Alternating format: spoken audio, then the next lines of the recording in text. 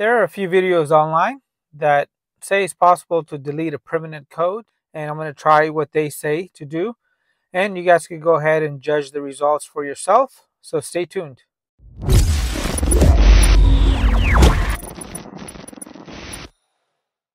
Hi everybody, welcome back to Random Fix. So we got a permanent code here on this 2014 Dodge Caravan and permanent codes affect vehicles that are 2010 and newer. So normally you cannot delete a permanent code, but these videos state that you can go and delete these permanent codes.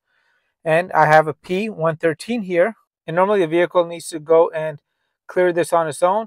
And the videos are stating that you can go and clear up the permanent code by using one of these resistors here. And this is a 10 watt resistor. And I'll leave you guys a link for this in the video description box down below if you want to try this for yourself as well as the video that I'm referencing. And here's going to be how it works. You need to disconnect the battery first. So let's go ahead and do that. Now you hook up the positive to your vehicle's positive lead and the negative to the negative lead and you hook up the other two ends to the resistor here and there's some other videos that also give the instructions of running a cable between the negative and the positive. So the yellow cable is now hooked up for that as well. And now we're going to go ahead and wait 15 minutes and you guys can go ahead and judge the results for yourself. And before we reach the end of the video, please comment down below if you think this is going to work or not. And let me know the reason for your logic. And after 15 minutes, I am going to go ahead and reconnect the battery. And let's check on the status of that permanent code. And there's the miles. I have not moved or driven the vehicle.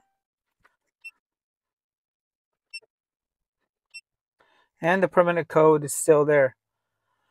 So you guys can go ahead and judge this for yourself.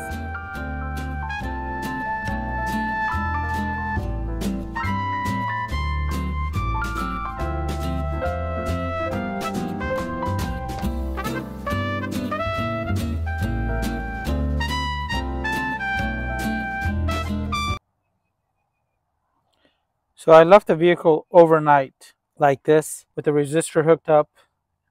And now I'm going to reconnect the battery.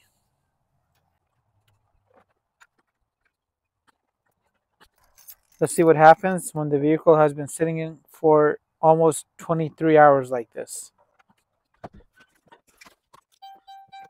And there's the mileage. The vehicle has not been moved. And the permanent code still exists. Yeah, that is not looking good. Let me know, guys, if I made a mistake somewhere during the making of this video, but I follow this down to a T.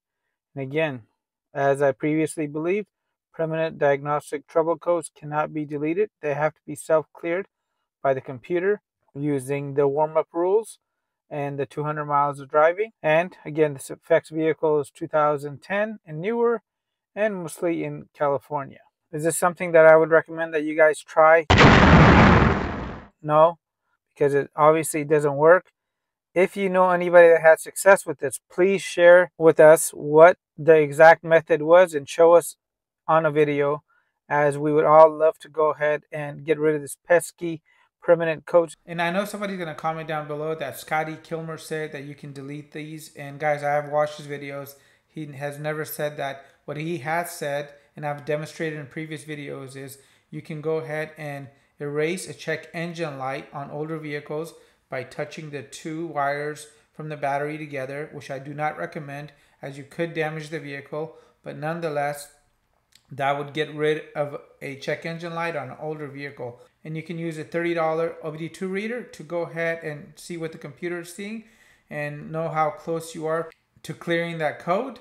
And I'll leave you guys a video link for that as well. And if anybody finds a video of a permanent code being deleted, guys, please send it my way. If you guys do want to learn how to clear them, I will leave you guys a video link in the description box down below. Thank you so much and make it a great day.